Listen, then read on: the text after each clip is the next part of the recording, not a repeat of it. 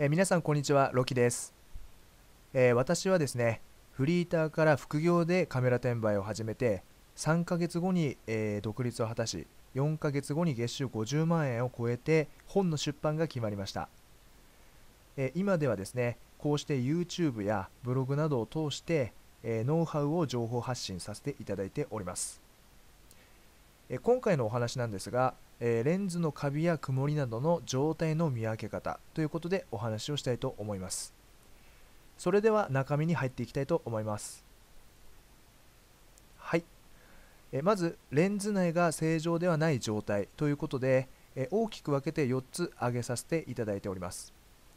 えカビ、曇り、バルサム切れ、傷、えこの4つがですね、え大きな、え正常ではない状態ということになります。はい、えーまずカビですね、えー、雲の糸のような形状と、まあ、クモの巣のような、えー形状をしているということですね。で状態によって、え撮影に影響が出ることもありますと。いうことなんですが、えこちらの、え画像を見ていただくとですね、えー、大体画像中央にあるこちらこの、えちょっとクモの巣のような形状をしている。これが、えカビになります。でですね、このカビなんですけれども、え基本的にレンズの内側に、え発生してしまうものなので表面をですね、えレンズクリーナーのようなもので、え拭き取っても、え取れません、えこれはですねレンズの保存状態が、えあまり良くない状態で保存されていると、えよく発生してしまうんですけれども基本的には、えーこれはですね修理という形で、えレンズのクリーニングをしないとですね、え取れないものに、えなります。で実際にですね、え撮影に影響があるかどうかということなんですけれども、え今のこの画像の、まあ、レンズの端にこれぐらいある、えカビであれば通常撮影には基本的には影響が、え出ないものが多いです、えただですね、えレンズ中央にびっしりともっと大きなカビですね大カビというんですけれども、えー大カビが発生しているもしくは、えーレンズ後ろ玉、えーマウント側の、えーレンズですね。こちらに、えカビが発生してしまっていると、え撮影に映り込む可能性が、えアップしてしまいます。ですので、え同じカビが生えている状態でもですねしっかりと状況を見極めて、え販売していく必要があるということが言えるんですね。で実際に、影響が出てしまうかどうかはお手持ちのカメラに接続して一度撮影して画像を確認してみることをお勧めします。はい続いて曇りなんですが、えーお風呂の中で鏡が曇ったような状態ということで、えー状態によって撮影に影響が出ると。これは比較的影響が出やすいものになりますね。で画像を見ていただくと、えーわかるんですがこのレンズの中が明らかにこれは曇っていますよね。おそらく曇りがどういうものなのかっていうのが分からなかった方でも画像を見ていただければ一目瞭然だと思います、まあ、こちらが拡大映像ということで、えー本来ですねレンズはクリアで透き通っているものなんですが、えーここまで、えー先が見えないぐらい白くなってしまっていると、えーこれぐらい曇りがあるレンズですと、えー実写した時にですね、えー写真が、え白く曇ってしまうという風な写りになる可能性が非常に高いです。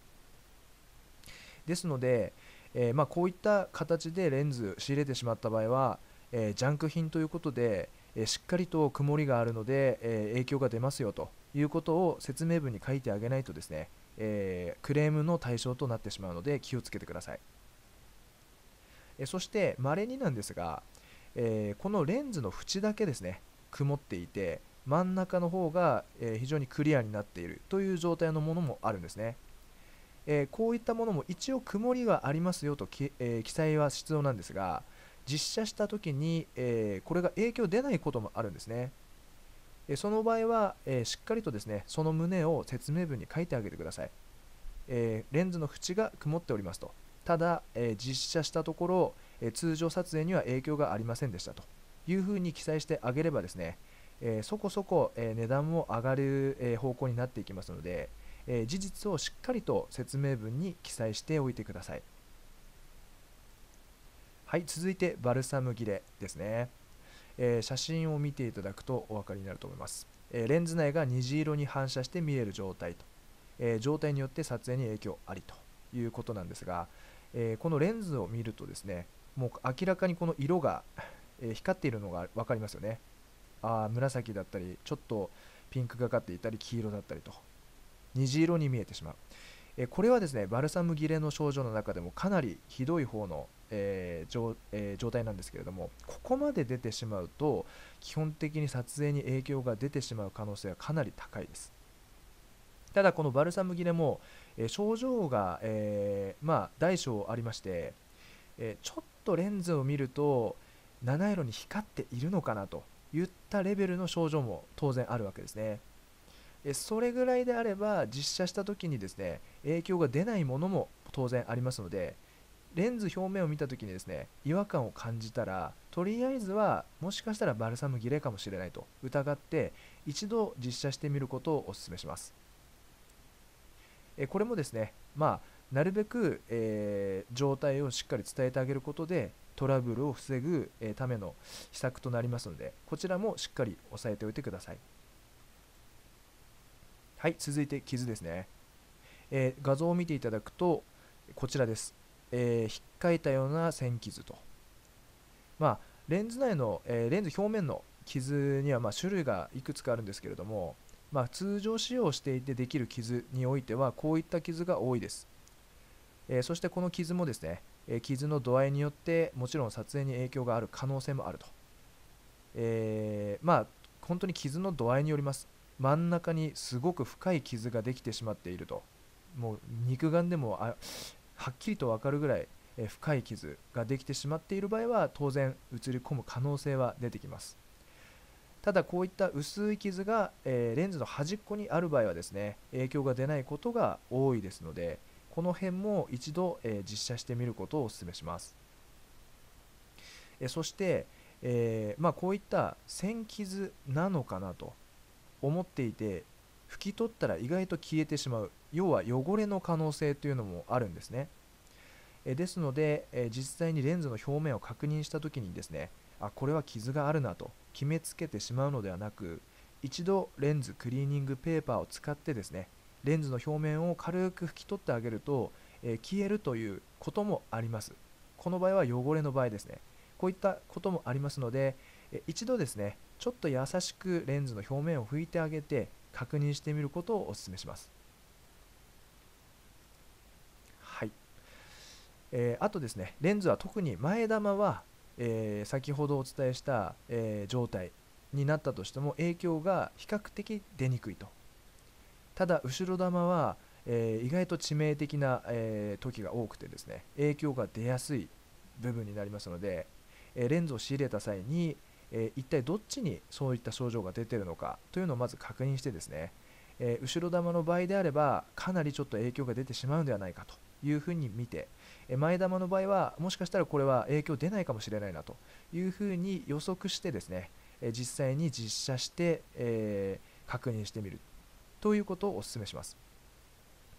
えこういった状態をですねしっかり見極めていけば、えこういった商品は安く仕入れることがえできる可能性が非常に高いですので、えうまく仕入れてですねそして、え出品をすれば利益を出すこともできます。まあ、特にこういったレンズに、えあまり詳しくない方が、え適当にですねもしかするとレンズに曇りがあるかもしれませんですとか、えカビがありますとかそういった表現だけで実際に実写してないという場合ですねこれを仕入れて実写して映り込まない場合はですねえ仕入れた金額よりも、え高く売ることができる可能性もありますのでこの辺も、えしっかり頭に置いてですね、え仕入れをうまくやっていってください。あと曇りに関してはですね、え基本的に映り込む可能性が高いので、え曇りは個人的には、え避けた方がいいかなというふうに思いますカビ、傷、バルザム切れに関してはですねある程度、まあ、ひどくない限りは撮影に影響が出る確率というのも比較的低いですので、まあ、この辺を仕入れ対象として見ていくのがいいかなと思います。はい、それではですね、今回の動画はこの辺で終わりたいと思います。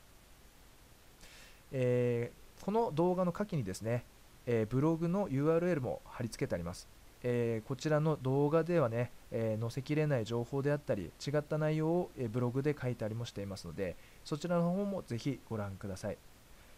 あと、動画の方は、えもし気に入っていただけるようであれば、チャンネル登録していただきますと、これからどんどんどんどん動画の方アップしていきますので、えまた検索していただきやすくなりますので、こちらの方もチャンネル登録合わせてお願いします。